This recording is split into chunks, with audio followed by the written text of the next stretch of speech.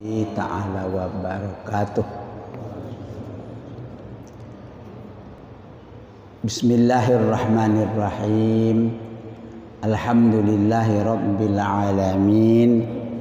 Wassalatu wassalamu ala ashrafil anbiya'i wal mursalin. Sayyidina wa maulana Muhammadin wa ala alihi wa sahbihi ajma'in. Amma ba'du فإن أصدق الحديث كتاب الله تعالى وخير الهدي هدي سيدنا محمد صلى الله عليه وسلم وشر الأمور محدثاتها وكل محدثة بدعة وكل بدعة ضلالة وكل ضلالة في النار اللهم اهدنا ووفقنا إلى الحق وإلى صراط مستقيم Bapak-bapak, ibu-ibu, jamaah Masjid Jami Besar Ariduan yang dimuliakan Allah Subhanahu wa taala. Alhamdulillah malam 14 Muharram ini kita meneruskan pengajian kita. Masih kita membahas tentang keutamaan bulan Muharram, keutamaan orang-orang yang disebut disebutkan dalam Muharram ini. Itu yang akan kita bahas pada malam ini. Pertama, malam 10 Muharram itu adalah malam keselamatan para nabi-nabi. Sejak zaman Nabi Allah Nuh Allah selamatkan Allah Nabi Allah Nuh dengan para peserta yang ikut di dalam kapal itu sehingga air yang membanjiri dunia pada hari itu surut dan terlihat bumi pada tanggal 10 Muharram. Nabi Allah Ibrahim Allah selamatkan daripada bakaran api Namrud itu pada tanggal 10 Muharram. Nabi Allah Yunus. Allah selamatkan dari perut ikan dimakan ikan Allah selamatkan itu pada tanggal 10 Muharram. Begitu juga Nabi Musa Allah selamatkan pada tanggal 10 Muharram. Nabi-nabi yang lain semuanya Allah selamatkan pada tanggal 10 bagi kita umat Islam, umat Nabi Muhammad itu 10 Muharram adalah hari mulia, hari besar. Kita harus melakukan sesuatu. Minimal Pak. Ya, kemarin tapi apa-apa walaupun belum terlambat kita pada malam Muharram itu disuruh baca banyak-banyak. Hasbunallah wa ni'mal wakil Ni'mal maula wa ni'mal nasir. Hasbunallah wa ni'mal wakil Ni'mal maula wa ni'mal nasir. Sampai 70 kali bacanya. Sekarang juga boleh kita baca. Dan kita iringi dengan membacaan La ilaha illa anta subhanaka inni kuntu minaz zalimin. Karena Nabi Yunus itu selamat daripada perut ikan nun itu di dalam perut ikan ketika dimakan ikan dia hanya berzikir membaca la ilaha illa anta subhanaka inni kuntu minaz zalimin La ilaha illa anta subhanaka inni kuntu minal zalimin. Diceritakan dalam Al-Quran kisahnya kalau sekiranya Nabi Nuh tidak membaca tasbih La ilaha illa anta subhanaka inni kuntu minal zalimin dia akan selama-lamanya berada di dalam perut ikan tidak mendapat pertolongan Allah Nah, bagi kita yang sekarang ini telah mengetahui kisah sejarah Nabi Allah Yunus itu, kalau kita ingin keluar daripada satu kesulitan, kesusahan, bahaya, ah, ataupun kita sedang menghadapi dalam keadaan bahaya baca itu. La ilaha illa anta subhanaka inni kuntu minaz zalimin. Saya ingat dulu waktu saya mondok dengan guru saya itu wirid sebelum salat subuh setelah azan setelah salat sunat ya hayu ya qayyum la ilaha illa anta. Ya Hayu Ya Qayyum La ilaha illa anta. 40 kali La ilaha illa anta subhanaka inni kuntu minaz zalimin. La ilaha illa anta subhanaka inni kuntu minaz zalimin nah, baru komat subuh 40 kali Nah, sekarang begini Pak, yang mau kita bicarakan malam ini ada doa Doa ini biasanya dipakai akhir Ramadan witir. Bunyi doanya begini. Allahumma ya apa namanya? Allahumma ya mujiba doa isailin wa ya qabilat taibin wa ya rahimat du'afa wal fuqara wal yatama wal masakin ij'alna minal maqbulina indaka ajmain. Artinya Allahumma ya Allah ya mujiba doa isailin yang memperkenankan doa orang-orang yang minta. Satu. Allah yang memperkenankan doa orang yang berdoa. Wa yaqabilat taibin. Allah yang menerima taubat orang yang mohon taubat. Kemudian disebutkan wa ya rahimat du'afa. Ya Allah yang sangat sayang kepada orang du'afa. Allah yang sangat sayang kepada orang du'afa. Perhatikan Pak kalimat itu. Sangat sayang kepada duafa wal fuqara dan sangat sayang kepada orang-orang fakir wal yatama dan sangat sayang kepada orang-orang miskin wal yatama sayang kepada anak-anak yatim wal masakin dan sayang kepada orang miskin. Hanya empat ini disebut. Tidak ada Allah sebutkan sayang kepada orang kaya, sayang kepada pemimpin, sayang kepada penguasa. Tidak ada. Allah hanya sayang kepada empat ini. Siapa tadi? Doa Pak. Waya rahimat. Doa Pak ya Allah yang sangat menyayangi orang-orang yang lemah. Maksudnya lemah ekonominya, wal fuqara orang-orang fakir. Allah sayang ini. Wal yatama anak-anak yatim. Allah sangat sayang kepada anak-anak yatim. Bahkan di banyak ayat Al-Quran itu disebutkan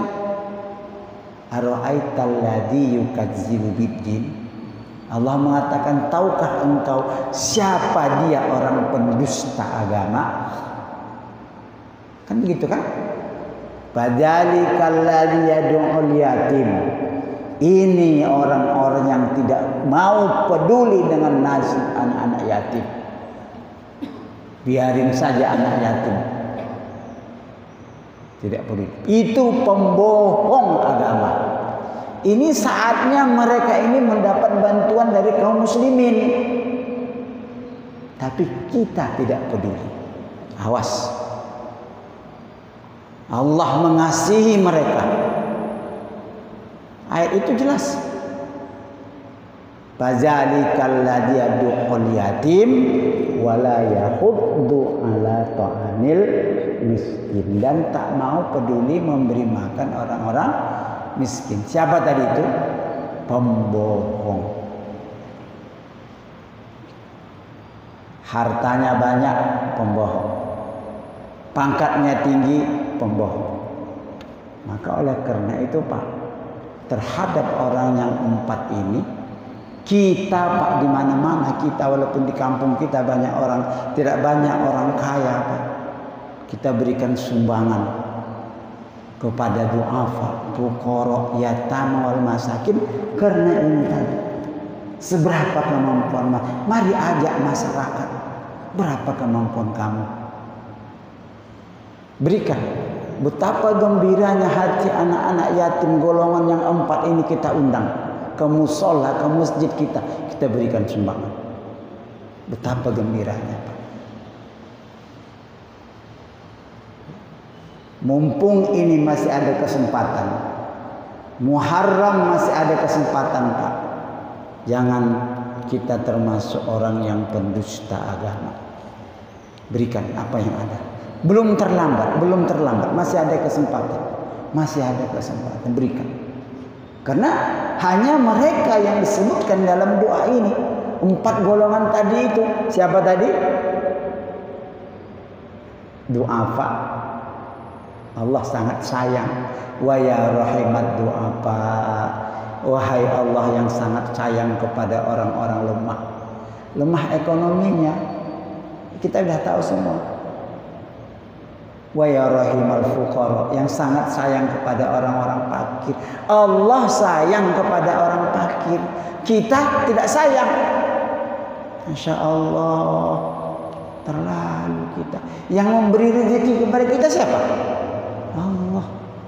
Berikan rezekimu itu kepada mereka. Yatama orang miskin, orang anak yatim, wal masakin dan orang-orang miskin. Ij'alna minal makbulina indaka ajmain. Jadikan kami daripada orang-orang yang kau terima doanya. Apa syaratnya tadi? Setelah kita mencintai duafa, bukoro, yatama, masakin, barulah doa kita diterima. Selama kamu tidak memberikan ini, tidak. Enggak usah berdoa. Enggak diterima.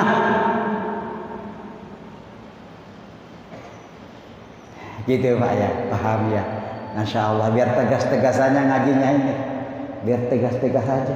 Mereka ini jelas-jelas orang yang dikasihi, yang disayangi Allah. Kok kita nggak peduli? Artinya kalau kita peduli kepada mereka, ya peduli kepada orang yang di disayangi oleh Allah Subhanahu wa taala. Orang yang empat ini, Pak. Lihat. Itulah tempat kita bertawasul. Perantara.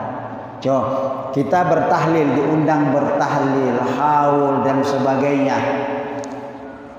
Kita baca Quran banyak, ada membaca Quran sekian khotam, sekian khotam, sekian khotam, tapi kalau enggak nyebut nama Nabi Muhammad sampai enggak bacaan Quran kepada ruh arwah-arwah itu?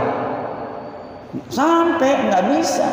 Sebut dulu nama Nabi Muhammad baru sampai doa. Kan gitu. Bunyi doanya kan begitu. Wa masabahna wa mahalimin la ilaha illallah nudiha wa nuqaddimuha ila hadrati habibina sayyidina Muhammadin sallallahu alaihi wasallam. Itu bacaan-bacaan kita semua daripada Al-Qur'an, tasbih subhanallah, salawat kepada Nabi, kita sampaikan kepada hajat kita, ruh arwah orang-orang tua kita, orang-orang yang mendahului kita, tapi harus melalui perantaraan Nabi namanya tawasul. Kalau kamu ingin doanya didengar Allah, inilah dia yang empat orang ini perantaraannya nih. Siapa tadi?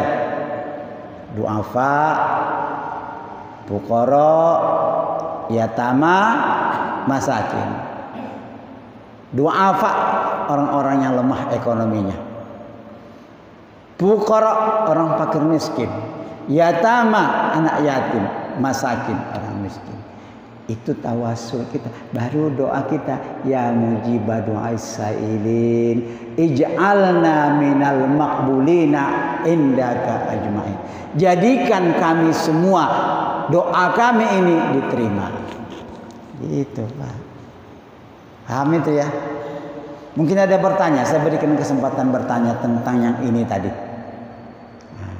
Jangan sampai tidak, masih ada kesempatan bulan Muharram masih Pak. Berikan, berikan apa yang tanda rasa hati simpati kita kepada mereka-mereka ini. Pasti ada tetangga kita, keluarga kita. Dalam Al-Quran banyak sekali. Bahkan Allah mengatakan, Kalla balla tukrimunal yatim. Kalla sekali-kali tidak. Balla tukrimunal yatim. Kamu tidak memuliakan anak-anak yatim. Wala tahaduna ala ta'amin miskin. Dan kamu tidak mau memberi makan orang-orang miskin. Jadi berarti mereka yang berempat ini punya hak terhadap kita. Makanya ada sistem zakat. Ya zakat harus wajib bayar zakat. Zakat fitrah, zakat harta, zakat perniagaan, zakat pertanian, zakat emas dan perak, dizakati semuanya. Siapa yang menerima zakat? Itu tadi orangnya empat itu. Haha gitu. Zakat tidak bisa diberikan kepada orang kaya, tidak bisa diberikan kepada penguasa. Inilah orang yang empat ini. Kalau kita ingin doa kita diterima, masya Allah, tabarakallah. Gitu Pak ya. Ada pertanyaan silakan. Saya jawab ini pertanyaan penting ini. Ya. Silakan Pak. Masya Allah ya. Masih ada waktunya. Apa yang bisa kita? Masa nggak bisa kita memberikan ya barang seribu dua ribu untuk menggembirakan mereka. Apalagi lebih dua puluh ribu, dua ratus ribu sekian. Berikan, berikan. Stop dulu kita ngerokok. Stop kita dulu makan enak hari ini. Biar mereka yang dapat. Nah, gitu ya.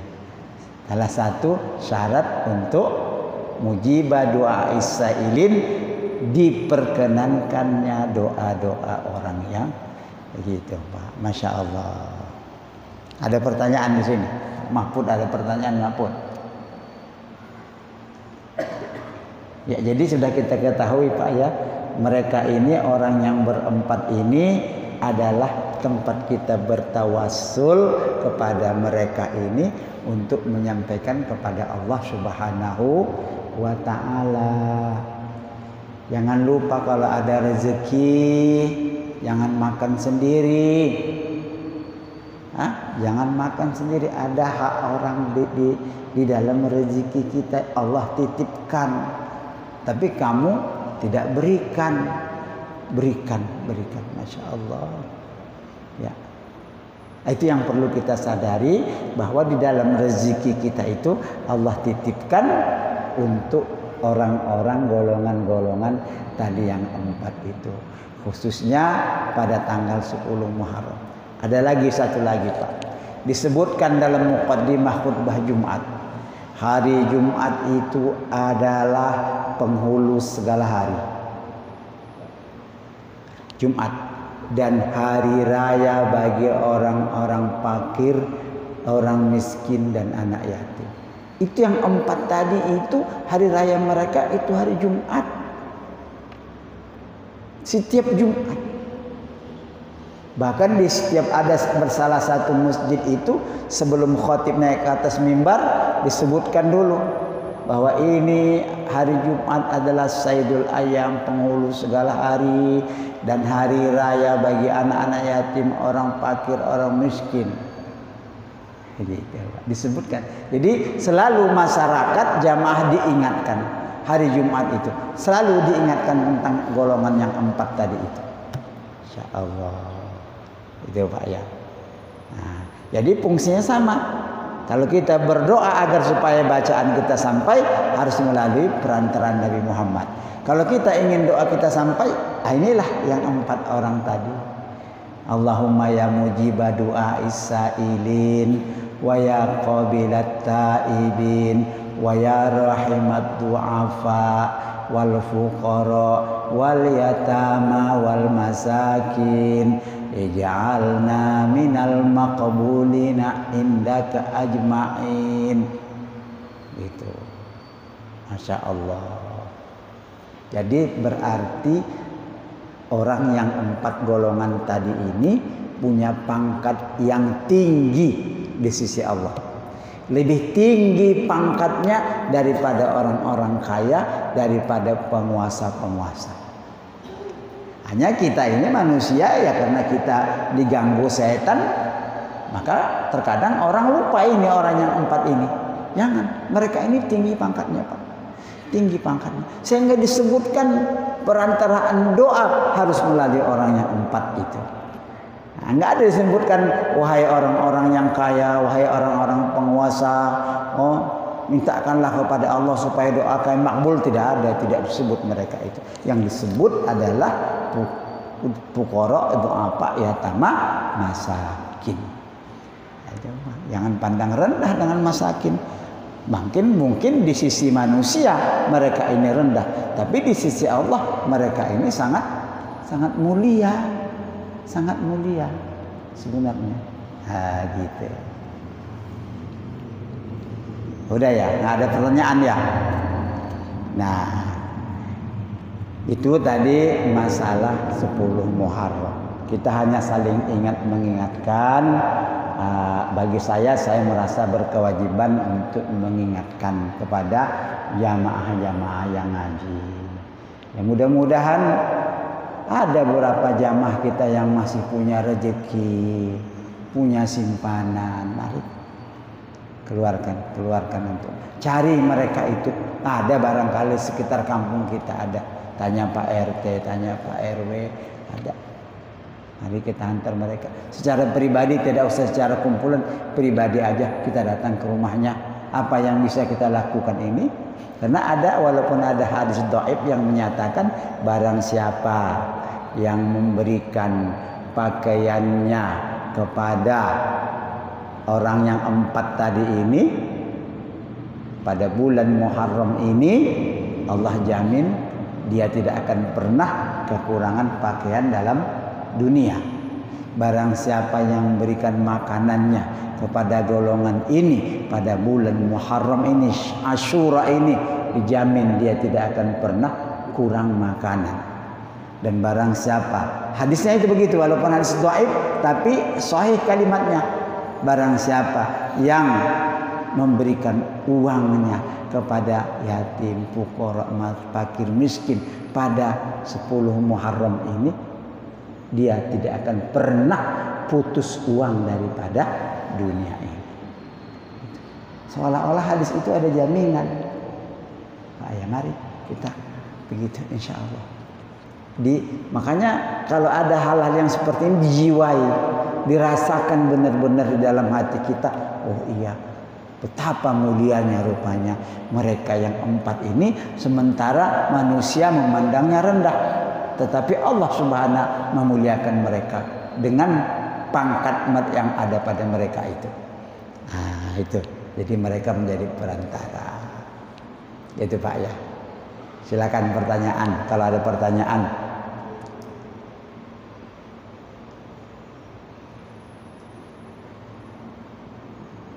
Itu Bapak-bapak sudah amalin belum ya? La ilaha anta subhanaka inni kuntu minaz zalimin. Minimal 40 kali.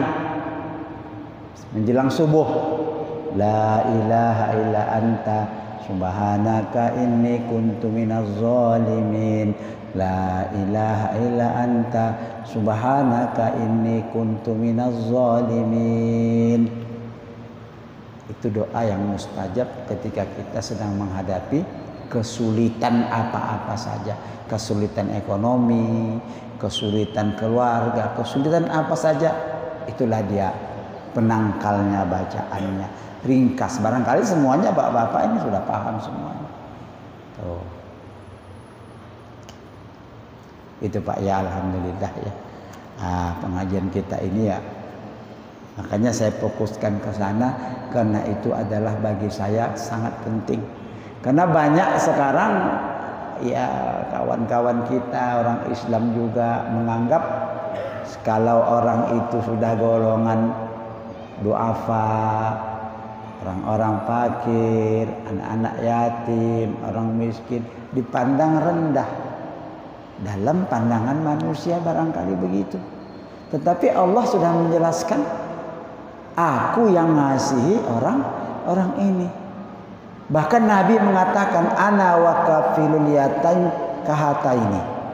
Nanti aku di surga bersama orang yang peduli yang memelihara anak yatim ini seperti ini.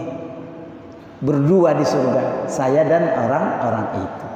Kan begitu kata baginda Rasul. Alangkah mulianya orang-orang yang peduli anak yatim. Jangan sampai kita ini terkena Ara'aital ladzi yukadzibu biddin. Tahukah engkau orang pendusta agama itu? Nah, nauzubillah min zalik Pak ya.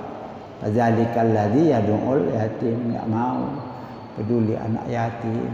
Kita lebih mau kita makan enak-enak, beli pakaian mahal-mahal, beli sepatu mahal-mahal. Lebih mau kita itu. Tapi untuk berbagi kepada mereka sedangkan Allah perintahkan kita tidak mau. Nah, ini yang berbahaya ke iman kita ini. Nah, iman yang dimakannya iman, bahayanya iman. Itu. Jadi mudah-mudahan pola pikir kita, keyakinan kita berubah dengan mereka yang berempat ini. Ada pertanyaan? Silakan, silakan. Apa bebas? Boleh bertanya apa saja bebas-bebas. Masya Allah. Masih ada kesempatan ngaji ini. Udah aman ya Pak ya. Sekarang kita baca kitab. Kitab Riyadus Solehin mengenai sabda Rasulullah sallallahu alaihi wasallam. Bismillahirrahmanirrahim. Wa an Abi Hurairah radhiyallahu anhu qala qala Rasulullah sallallahu alaihi wasallam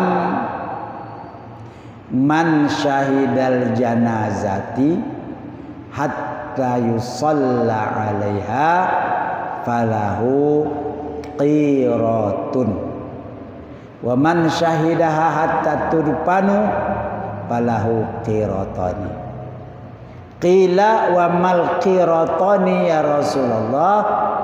Qala mislul jabalainil azimaini. Artinya Hadis dari sahabat Abu Hurairah radhiyallahu anhu Rasulullah sallallahu alaihi wasallam bersabda barang siapa yang menyaksikan jenazah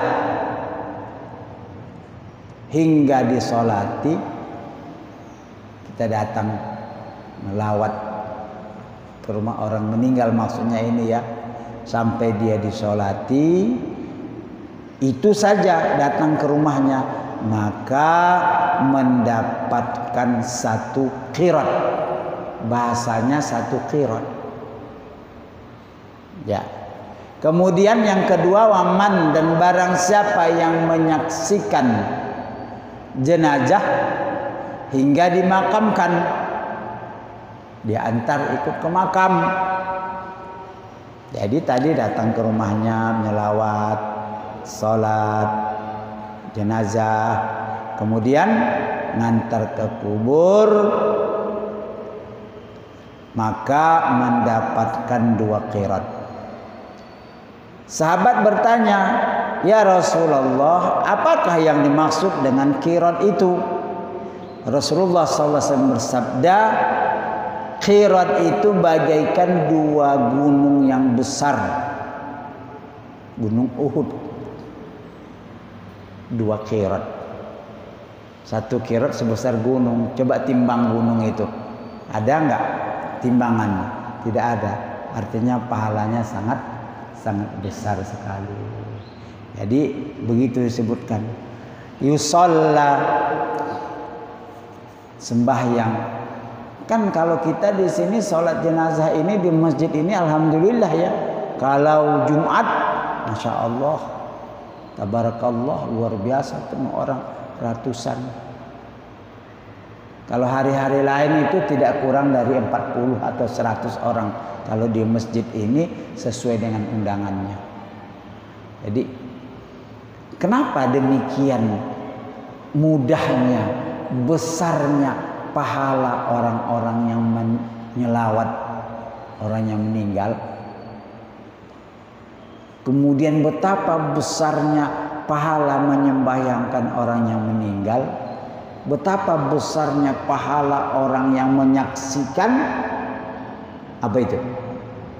Orang yang dikubur jenazah. Nah,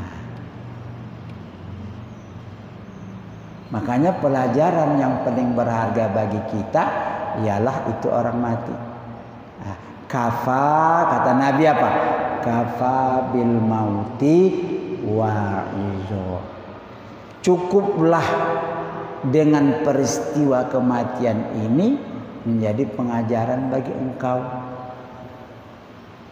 Kalau kita datang melawat orang yang meninggal, kita baca doa, baca doa. Apa bacanya Pak? Kalau kita datang menyelawat orang meninggal, kalau menurut satu riwayat Ibnu Abbas berpesan sebelum dia meninggal, kalau nanti saya meninggal kata Ibnu Abbas, bacakan surah Al-Fatihah sebelah kaki saya. Ya, bacakan surah Al-Fatihah sebelah kaki saya dan bacakan akhir surah Al-Baqarah di bagian kepala saya. Gitu aja. Tapi kebanyakannya kita melihat itu orang baca Yasin, nggak apa-apa, silakan, bagus baca Yasin. Hanya pesan Ibnu Abbas khususnya hadis Ibnu Abbas itu bacakan Fatihah sebelah kakinya akhir surah Al-Baqarah. Apa akhir surah Al-Baqarah? Lillahi ma fis samawati wa ma fil ardh wa in tubdu ma fi anfusikum au tuhfuhu yuhasibukum billah. Ataupun dimulai dari amanar rasulu bima unzila ilai min rabbih wal mu'minun. Kullun amana billahi wa malaikatihi wa kutubihi wa rusulih Tuh. Nah kita alhamdulillah jamaah kita ini cara ringkas sholat jenazah Cara ringkasnya Pak ini. Ringkasnya bagaimana? Niatnya.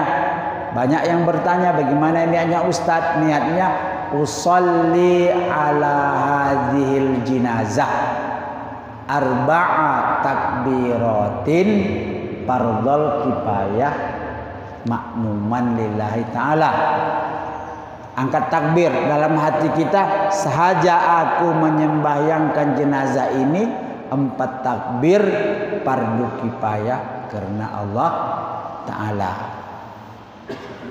Terkadang ada kawan kita yang nggak tahu. Itu bagaimana caranya kalau tidak tahu itu jenazah perempuan apa laki-laki. Dia jauh di belakang. Boleh memakai niat angkat takbir sahaja aku sembahyang sebagaimana imam sembahyang. Imam jenazah itu saya ikut imam itu. Kalau dia menyembahyangkan laki-laki berarti sholat saya ini ikut laki-laki. Kalau dia menyembahyangkan perempuan berarti sholat saya ini. Itu udah paling kurang gitu. Ya. Angkat takbir. Kemudian setelah takbir apa yang dibaca? Langsung Fatihah. Jangan baca Allahu Akbar kabiro, jangan langsung Fatihah, jangan Allah Akbar kabira. Allah Akbar kabira tidak ada perintahnya. Kalau kita baca kita terlambat nanti. Nah, Allahu Akbar takbir pertama. Setelah takbir pertama apa yang dibaca? Allahumma salli ala Sayyidina Muhammad. Udah segitu aja. Kalau mau sempurna, Allahumma salli ala Sayyidina Muhammad wa ala ali sayyidina Muhammad kama sallaita ala Ibrahim wa ala ali Ibrahim wa barik ala sayyidina Muhammad wa ala ali sayyidina Muhammad kama barakta ala Ibrahim wa ala ali Ibrahim fil alamina innaka Hamidum Majid. Udah sampai situ aja. Kalau takut terlambat ya udah Allahumma shalli ala sayidina Muhammad. Cukup. Baru takbir yang ketiga. Takbir yang ketiga kalau laki-laki baca Allahumma lahu warhamhu. Kalau perempuan baca Allahumma gfirlaha warhamha.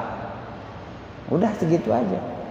Kalau mau panjang Allahumma gfirlahu warhamhu وعافه واعف عنه وأكرم نزوله ووسع مدخله واغسله بالماء والثلج والبرد ونقه من الخطايا كما ينقى الثوب الأبيض من الدنس وابدله دارا خيرا من داره وأهلا خيرا من أهله وزوجا خيرا من زوجه وادخلها الجنة.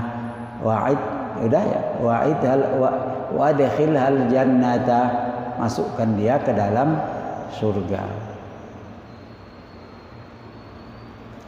nah baru takbir yang keempat takbir yang keempat dalam sholat jenazah Tadi bapak udahlah cukuplah. Allahumma ghfirlahu warhamhu kalau laki-laki. Allahumma ghfirlaha warhamma cukup Allahu akbar. Serahkan itu urusan imam. Yang panjang urusan imam. Kita makmum yang pendek aja. Kalau laki-laki Allah maghfirlah warhamhu, perempuan Allah maghfirlaha warhamha. Nah, takbir ketiga tidak baca apa-apa. Hanya takbir doang. Allahu akbar. Diam. Kalau mau baca baca Allahumma la tahrimna ajrahu wa la tabtinna ba'dahu waghfir lana walahu. Segitu aja.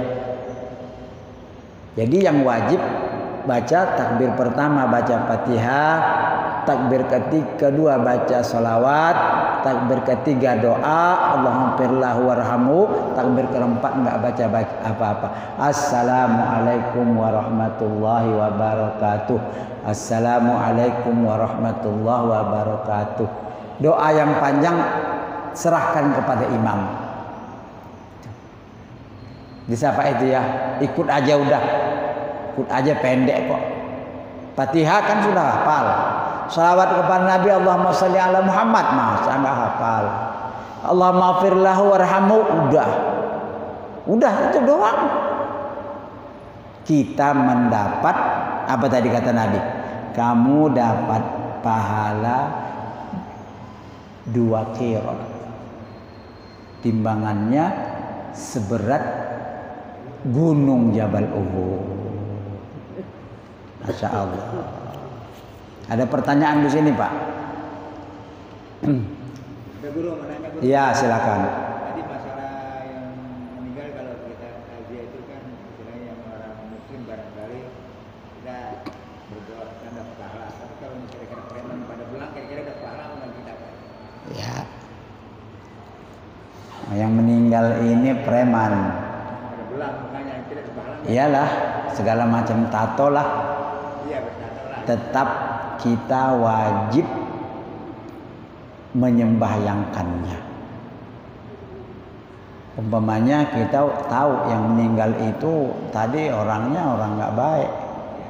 Tapi karena kita mengamalkan hadis baginda Rasul, kita datang aja. Pertama datang, kemudian kalau perlu kita menyembahyangkan. Sekalian ya. Iya, doa sekalian.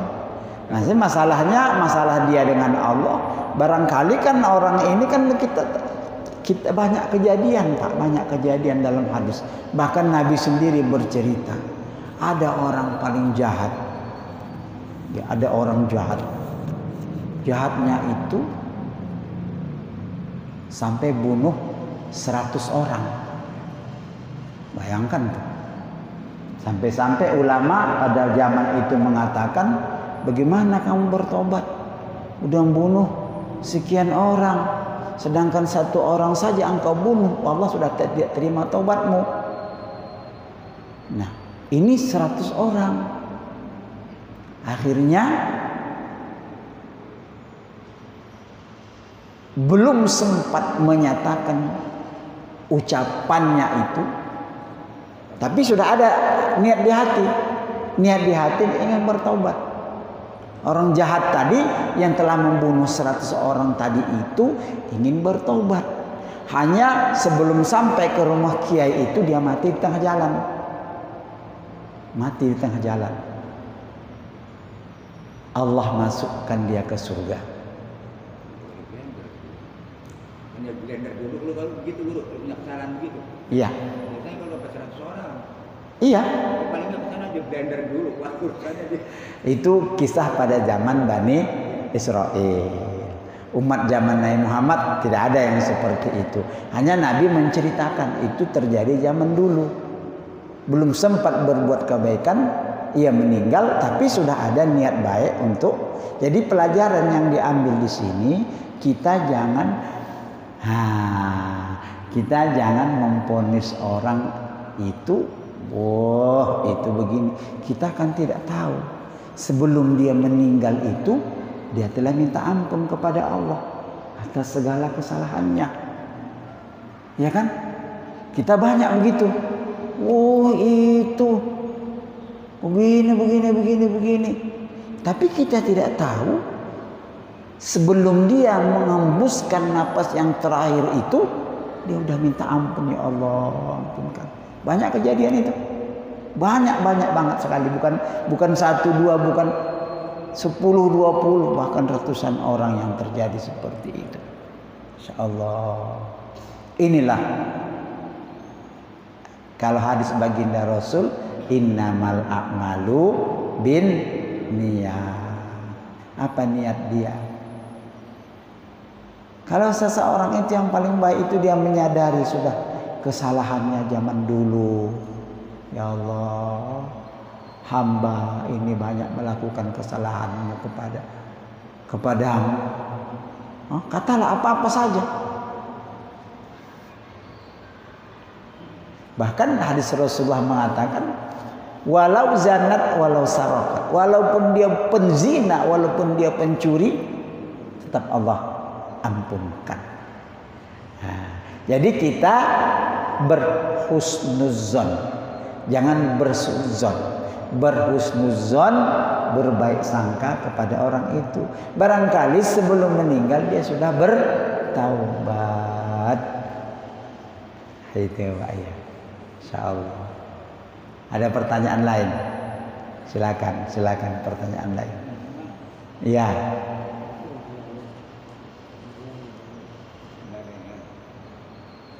Judulnya belum bisa dulu judulnya ini lagi bikin judul ini kayaknya belum bisa. Ntar kalau judul yang lain kali ada yang bisa. Bagaimana? judulnya judulnya ini judulnya kita yang dibaca ini. Mungkin ntar ada yang lain baru bisa kalau judul dia belum Nah, judulnya ialah sholat jenazah mengantarkan mayat menyaksikan pemakaman. ya judulnya itu. Belum bisa sekarang lainnya ntar kalau ada judulnya masalah rezeki barangkali yang dagang gitu ya kira di hadisnya ada urusan dagang atau uh, umum ya itu mungkin ada yang bisa nanya kali iya Bisa? iya atau dipikir gitu bisa nanya Urusan dagang itu mudah pak.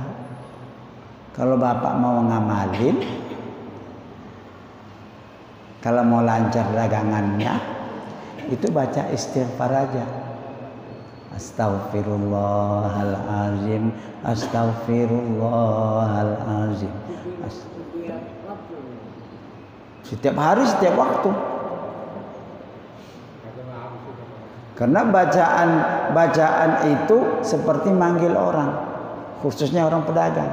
Astagfirullahalazim, astagfirullahalazim, astagfirullahalazim, astagfirullahalazim. Kalau bisa malam-malam seribu. Ah, tapi dia kebanyakan dulu langganannya banci dulu Hah? langganan dia banci dulu dia kan dagang punya punya motor di BKT itu Iya. kan banci dulu langganannya Alhamdulillah. tiga ribu jadi lima ribu mana ada pahala kalau gitu dulu ya kebanyakan kebanyakan Kebanyakan untungnya tadi berikan kepada empat orang tadi itu. ya Ah, empat empat bagi empat bagi empat. Siapa tadi? Pukoro, du'afa, pukoro, yatama, masa, masakin. Empat ini jangan lupa. Jangan satu aja, jangan anak yatim aja, jangan. Pukoro penting. Du'afa penting. pelit. Ah, orang miskin juga sangat menentukan apa doa kita itu. Ya. Ya, itu namanya kita apa namanya? Eh, tadi yang tadi itu. Ini tadi masalah jenazah tadi ini sudah amalan kita keseharian. Di kampung kita kalau ada orang meninggal, orang rame-rame datang nyelawat. Ah, Itu sudah alhamdulillah udah baik. Tapi hendaknya kita berpikir dengan hadis Nabi kafa bil mauti wa izo. Cukuplah kematian itu menjadi pengajaran wa izo mau izo bagimu. Enggak usah diceramain kayak begini. Begitu pulang dari sana kita menyadari ya Allah kalau saya mati besok bagaimana ya. Terutama yang paling serius sekali ketika kita mem, mem, mem- namanya men- men- menanam mayit. Itu terasa itu. Terasa. Menyembayangkan hari ini kita menyembayangkan bulan besok kita akan sembayangkan orang. Adakah besoknya menyem- menyembayangkan kita salamnya orang sekarang ini? Tuh. Kita tidak tahu. Kubur itu nanti. Di kubur kita lihat bagaimana dihadapkan ke kiblatnya kemudian ditutup sampai ya Allah besok saya seperti ini nanti. Pasti pasti pasti. Nggak ada yang selamat. Tidak ada yang selamat. Semuanya wajib masuk kubur makanya dari sekarang sekarang ini pak kita rajin sholat jenazah rajin ngantar jenazah ke kubur supaya hati kita makin lembut makin Ya sekianlah pengajian kita dulu. Terima kasih kepada bapak-bapak yang hadir. Mudah-mudahan semuanya amal kebaikan kita, amal kebaikan mengaji ini diterima Allah Subhanahu wa taala. Jangan lupa tadi doa fa fuqara yatama masakin. Wallahu muwaffiq ila aqwamit thariq. Wassalamualaikum warahmatullahi taala wabarakatuh.